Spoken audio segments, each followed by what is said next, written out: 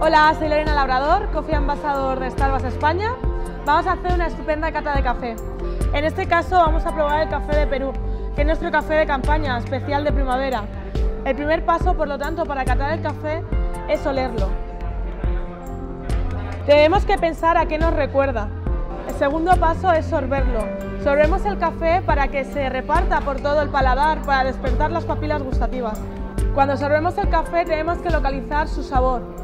El sabor se localiza en los laterales y en la punta de la lengua. Por último, es describir la experiencia, notar su sabor. Para mí este café es muy equilibrado, es perfecto para tomarlo en cualquier momento del día.